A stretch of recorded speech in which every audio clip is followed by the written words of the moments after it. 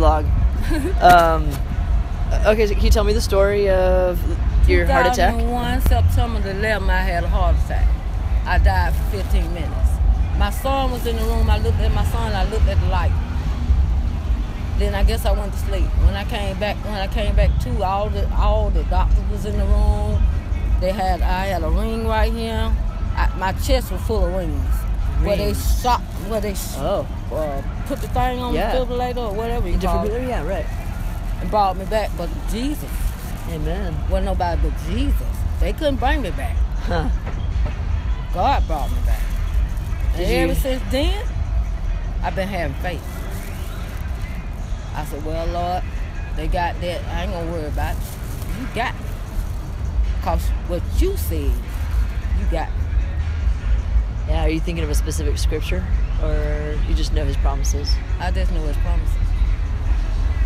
I can't remember because I had a stroke. Mm, But I, my mama used to drink liquor, and she used to sing hymns all the time. she used to drink liquor and sing hymns all the time. all the time. She used to uh, quote scriptures out the Bible. I know the Bible before I. Well, uh, she used to send me to Sunday school. I know the Bible before I was. You know what I'm saying? Yeah. I used to sit at the bathroom door and listen to her sing. Oh. She could sing. I'm talking about she could sing. She's had the um and the I. She didn't need nobody. You miss her? Yeah, I really do. I'm the only child. I was born in Reidsville Prison. They had to sign Reidsville Prison. That's where my mama had me at. She had you in prison. Mm-hmm. They had to, my uncle had to come and sign me out. Did he take you home Uh-uh. I went to Grady's. I had romantic fever. Oh, rheumatic. All the children were born with it. I'm the only one lived out of 12. You're the only one that had rheumatic fever that lived out of 12 babies. Mhm. Well, it looks like God was working to select you for something. I'm going to do his will. Yeah. What does that look like these days, doing His will, day to day? Look good. It looks good. look promising. It look good. Regardless of my situation and what I'm going through and all that, I still praise him.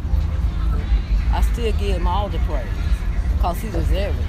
He helped me when I'm down. He helped me when I'm up. How do you know it's Him? I know. You know. yeah. I know. Now I know. Yeah. Now I realize. I think so many people who are in safe positions like me, we wonder if God could be real or whatever. I I, th- I believe He is. I know he real. and you you just know I know he here. He's here. In Amen. spirit. Yeah, I think so. I feel it. I think. Mhm. Where do you go to church? Do you go to church? Yeah. I go to church on Morris Drive. Okay. What's it called? Um, I don't know the name, but I Yeah. forgot. That's okay. Yeah, that's okay.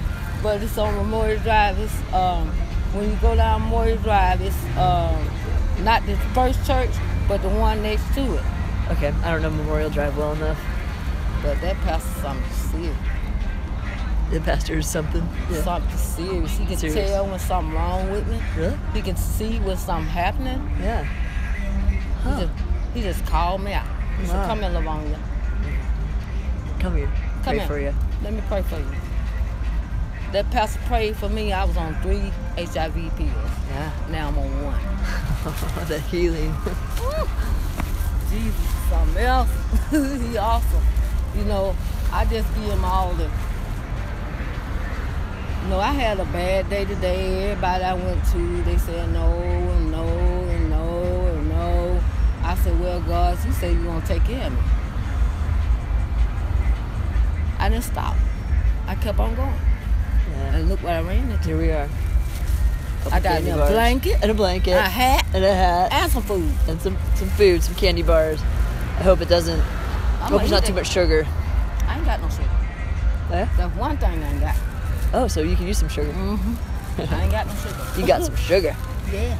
Um, Go eat it too. yeah. Well, I don't want- I don't want to hold you up. It's re- really nice talking to you, It was nice talking to you too. What's your name? Ross. Okay, Rob. Well, you God know bless where you. did- You know where Grady is at? Um. Yeah. uh so it's you close to there. behind Grady. Uh huh. There that bridge at right there? Uh, I, am pretty sure I could find it if I needed to. Well, you know, you can't miss it. Um, when you go down here and get to that street where you turn on, where you turn to go to Grace, Yeah. turn, turn left, and then you make another left, and then I'm right there on the right. Cool. Okay, so maybe I'll watch for you next time I'm around. Okay. So Livonia, is that right? Did I s- Yeah. All right. Thank you. Um, are you okay if I um, put this recording onto my blog and type it Yeah. out at, with your story? 'Cause Yeah. It's really cool to hear. yeah, and I had three strokes. And you had three strokes. Yeah. And then my mouth was twisted. I couldn't talk, Uh huh. and I couldn't walk on my right side.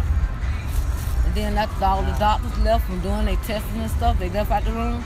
I fell down on my knees and asked God to heal my body, if He heal my mind.